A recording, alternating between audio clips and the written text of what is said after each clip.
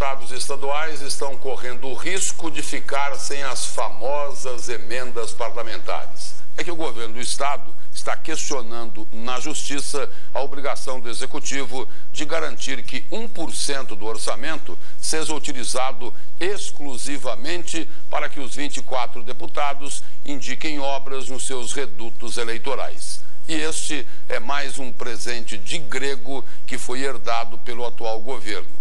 1% do orçamento do ano que vem, por exemplo, daria um total de 160 milhões de reais. Sendo assim, cada parlamentar teria direito a uma emenda de 6 milhões e meio de reais. E eles fizeram uma outra amarração ou armação o orçamento é impositivo. O governo do Estado é obrigado a pagar as emendas que forem apresentadas pelos deputados. Se não fizer isso, o executivo estaria cometendo crime de responsabilidade. Mas ainda tem um outro problema.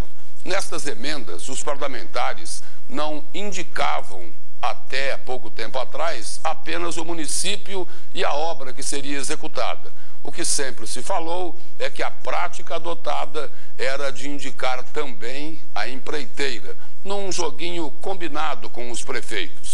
A chiadeira já começou, inclusive de gente muito próxima do Palácio Paiaguás. Se a mesa diretora da Assembleia está devolvendo dinheiro para o governo do Estado porque não consegue gastar tudo o que recebe, não tem sentido exigir mais 160 milhões de reais do orçamento.